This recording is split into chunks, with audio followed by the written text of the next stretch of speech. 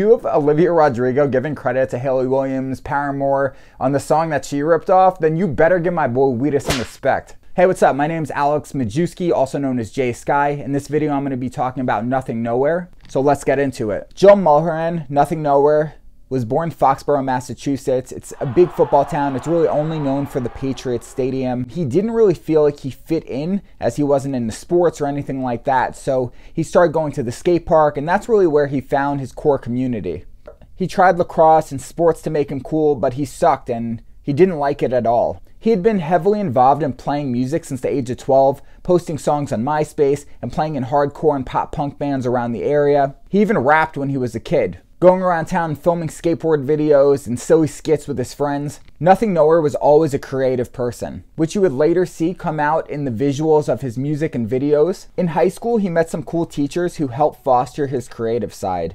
He would often skip class and hang out in the art wing of school. He wasn't a great student. When he was younger, he felt extremely isolated but he has memories of his older cousin Dan playing guitar and getting him into bands like Dashboard Confessional. His cousin would let him play his guitar even though he didn't know what he was doing, but at that time he knew that he wanted to learn how to play. He ended up getting guitar lessons shortly after, started learning classic songs like Zeppelin and Sabbath. He never really took music seriously despite his passion for it. With the underlying fear of needing a backup plan, that kind of ran with him for years and he does regret that. In 2010, he tried showing more people his music. He would release music on sites like PureVolume and MySpace. MySpace since 2006, and he claims that it was really bad at this time. He came from a middle class suburban home. His dad worked for nonprofits, working with learning centers for deaf, and his mom was a nurse. He never applied himself, he was a terrible student, and he ended up going to film school because he thought that would be like a safer bet than doing music. When he first started college, he really stepped away from music for a while. Uh, he just dove into his studies, learning, doing things with film. He went to Burlington College in Burlington, Vermont, it's a college that is shut down now. It was small, like 250 kids. He started Nothing Nowhere at college. The first song that he released as Nothing Nowhere was Don't Mind Me. Don't Mind Me technically was a history project for class. His teacher said you could really make whatever you want. He was feeling weird and just wanted to do something for him. So he was like, fuck it, I'm gonna make something that I like. For a long time, his SoundCloud page had maybe like 40 followers. His sister was following him, nothing crazy. He was just uploading like rough acoustic songs and demos, things like that. His name, Nothing Nowhere, was inspired by the philosopher Alan Watts, a philosopher about the concept of nothing. The concept is like you can't see your hand without seeing the space between your fingers. So the name stemmed out of the impermanence of life. So being away at college helped shape the direction of his vision and his music. During Joe's last year of college, he really started to come into himself as an artist. Um, he also started an internship at a video editing company. He wasn't really passionate about it and he wanted a way out. So he spoke to his dad. His dad was like, You work so hard to get this job. And he stuck with it, saved up about like $3,000 and quit. From then, he just dove head on into music, making music every single day, uploading it to SoundCloud, and finding success pretty early on in that venture. He burned through his cash extremely fast, but used some of it to start selling merch, um, and that was actually going. He couldn't believe it that he was having an audience grow online, and they actually wanted to spend money on shirts and hoodies and things like that I imagine he was making at the time. So April 2015, he remembers staying up until like 7, 8 a.m. At this point, he had about 1,000 followers on SoundCloud. He really wanted the momentum to just keep going. Some of the first people bigger than him to show love, Mike the Musician, the Suicide Boys, he started doing some collabs and he released a few EPs such as Bummer. No set goals, just figured something was bound to happen. It was February 2016 when phone calls started coming in because he landed on the front page of Reddit.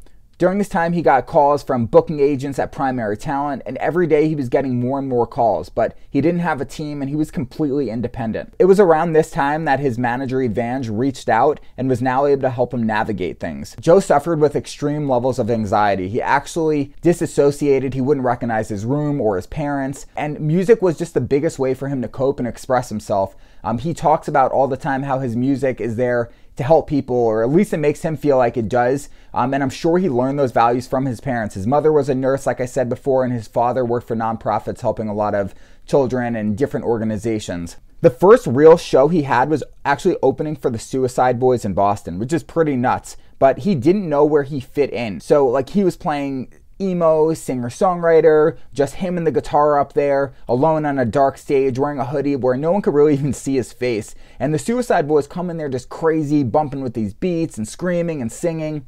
Um, so he he had some people showing love, and there was also a lot of people not. So at this time, he was just kind of indifferent. He's like, should I play shows? Where should I fit in? Where could I fit in? So Nothing Nowhere originally was all just like acoustic demos. So Never Forever is where he took all of those songs that was on the Nothing Nowhere page and he posted them. Everything else moving forward was really what he was trying to show the world. During this time around 2016, he was having crazy amounts of growth. He had his manager, he was getting calls left and right, and he was constantly making meetings out to Los Angeles and New York to meet with pretty much every single record company. He said a lot of just like the the rumors of how sketchy they could be and just trying to get you to be someone else was extremely prominent during these times and he was just kind of overwhelmed and sketched out. And then he got a really lucky call. His manager called him one day. He was up in Vermont just chilling and she was like, "Hey, Pete Wentz really likes your music. I want to he wants to talk to you in like 30 minutes. Um, so pick up the call." So he's just sweating as I could imagine. I would be freaking the fuck out if Pete Wentz was going to call me, but that'd literally be the coolest shit ever. So he gets a call from Pete Wentz and that's actually who he signed with. Pete Wentz, someone he grew up idolizing, having posters on his wall,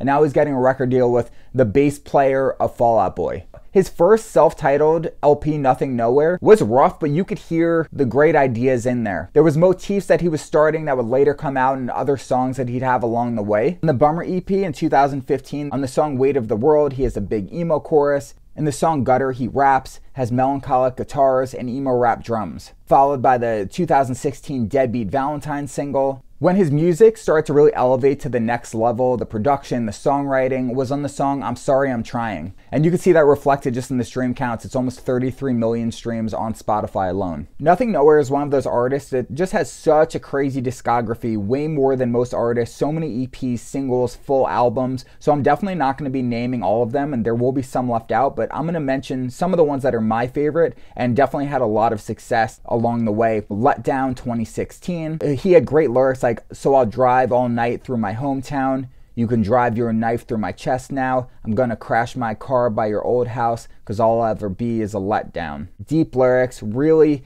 creating just a visual um, and just making you feel what it's like to be hopeless in your hometown, um, hurt by an ex or whatever it is. And he just kind of painted that picture of just the world that he was existing. He didn't show his face, he was mysterious, he had angst to him. And although he did have influences that were from, say, the emo rap scene and all those genres, he was different. There was something different about him. He was a great vocalist, he could rap really well, he produced unique beats. He wasn't getting a lot of these things from other people, so he sounded unique to himself, which was very special. Reaper was the first substantial record that really pushed him to the next level. It would be around this time that he started to gain notoriety for songs like Scully, Hopes Up featuring Dashboard Confessional with the vocalist Chris Carrabba. He's obviously heavily influenced by him. This was the artist that really got him into playing guitar when he was 12 years old. This is an artist that would sing acoustically and do kind of what looks like his one take. So you could see just early on, this is a direction that he wanted to go into. Clarity and Kerosene, which I believe he released acoustically years later. You could see it on his Spotify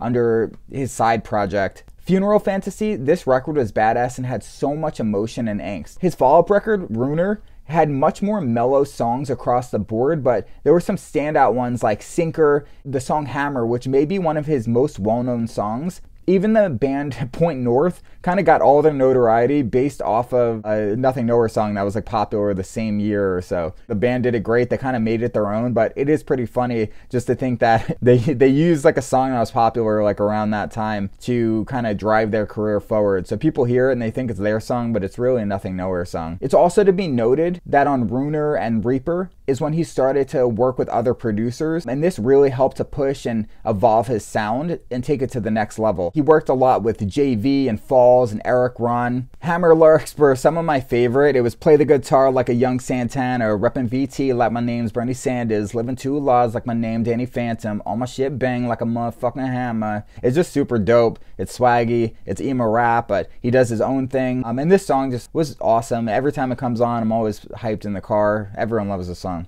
In 2018, he dropped more singles like Dread, Ornament, Callback, just back to back bangers, like he said in The Hammer. It's around this time that Nothing Nowhere really has the opportunity to level up and work with Travis Barker, the infamous drummer from Blink 182, huge producer, star from reality TV shows on MTV. Nothing Nowhere is one of the first artists to really have Travis Barker do that at this time. Shortly after, you're going to see tons of people like Machine Gun Kelly, Kenny Hoopla, the record was Bloodlust. He has songs like Destruction, and he even has a feature with blackbear, who's written with everyone, like the song Boyfriend for Justin Bieber and countless other ones. Um, this isn't my favorite record, but it was a really big launching pad and just kind of gave him clout and more skin in the game to move things forward. Just like that, he thinks his career is probably about to pop off, really go to the next level, which it ultimately does, but the pandemic hits. Everyone's home they have nothing to do. There's no studio sessions. There's no live touring. He's literally building up, and at the height of what's supposed to be the biggest moment of his career, it has to come to a stop. So, what does he do? He's always been creating tons of content he starts doing one takes. He starts going through his catalog, all these songs I had mentioned before. Maybe he had his own home at this time. I know he has one like in Vermont or Maine. Um, the parents have a house in Vermont, and he's using all these rooms and this beautiful scenery with the snow behind him and doing really like intimate performances, just acoustic guitar and him singing. For sure, there are some overdubs because I know there's extra vocals and things like that. I know he's good and I've seen him do Twitch live streams and he's playing them, so 100% he could crush it and do it well. But he definitely like probably played it to like a click track in his headphones and dubbed in some backing vocals and some like little leads and things like that. And there's no shade on that because later on he actually released like a full album of these one takes. Um, and this guy's fucking crazy. He's really good. Follow up Trauma Factory, although the album cover looks like really rugged and dark, it was probably his poppiest record to date.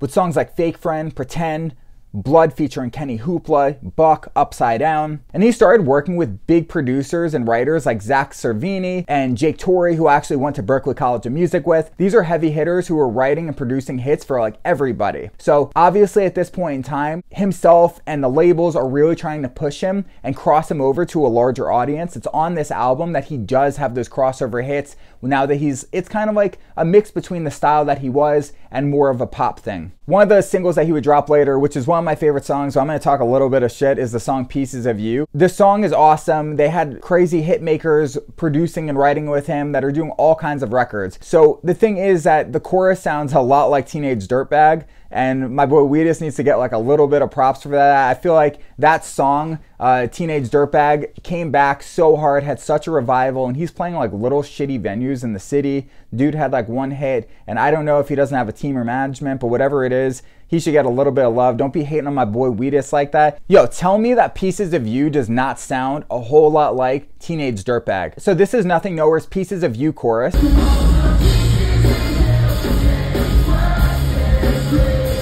And this is Wheatus's Teenage Dirtbag chorus.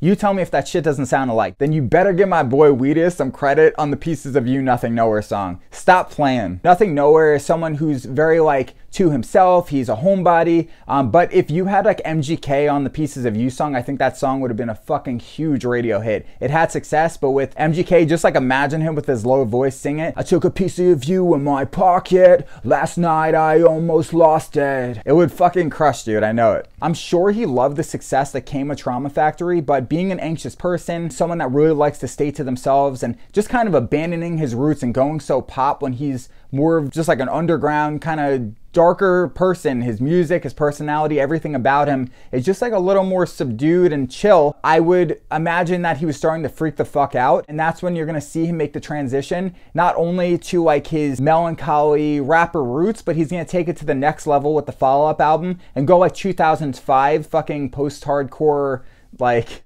metalcore. It's fucking dope. One of my favorite styles, and it's a sick record. He collabs with everybody from Underoath to Silverstein to You Space Cowboy, and he's just utilizing that shit. He's collabing the fuck out of it. He's making high level productions, still good songs, and he's showcasing everything that's him in one place. Um, and this is just an album that is so much different than anyone's really doing, and it's different than everything he had before while he's still holding on to his true identity. Nothing Nowhere is a great guitarist. You could see him playing like Midwestern emo style guitar and all kinds of hammer ons and pull offs. I'm a guitarist. I vouch for him. Dude could play guitar, and I'm sure there's a lot more he could do that just doesn't fit into the music that he's doing. But if he needed to flex and do some more leads or chugs or something, I'm sure he could. And he has a great voice. He is the raspy, melancholy thing. He could belt, he could scream, he could rap fucking dope. Um, and he's proved time and time again to be awesome at producing. Yes, I know throughout time I've been saying he's adding more producers and writers and things like that. It's obvious that the consistency throughout it is him. There's tons of people that work with these same writers and producers that are not making great content. He doesn't fucking miss. It's always dope. They're memorable. Now we're here at Void Eternal, which is the metalcore record that he's made, caught up to present day. He's doing great. I still visit visit his old catalog, going up through the modern shit. He's dope. He's definitely influenced me. He's influenced a lot of people. I'm a huge Nothing Nowhere fan. And I want to say once again, thank you guys so much for tuning in. I know there were some people in my When Emo Rap Took the World by Storm video that I kind of teased in there saying like I'm going to make a Nothing Nowhere video next week. I didn't. It's two weeks later,